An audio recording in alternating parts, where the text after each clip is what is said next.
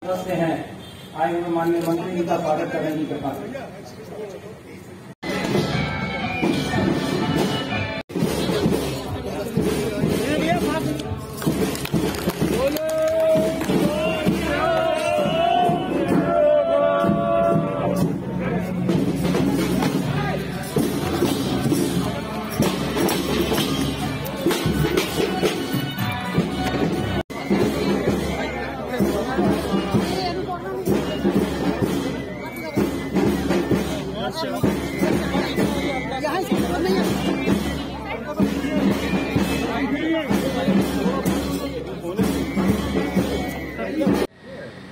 सरदार विजेंद्र सिंह जी,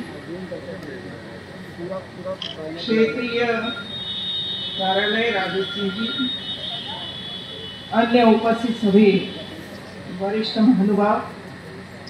और सभागार में उपस्थित सभी विशिष्ट नागरिकगण मेरे लिए अत्यंत हर्ष की बात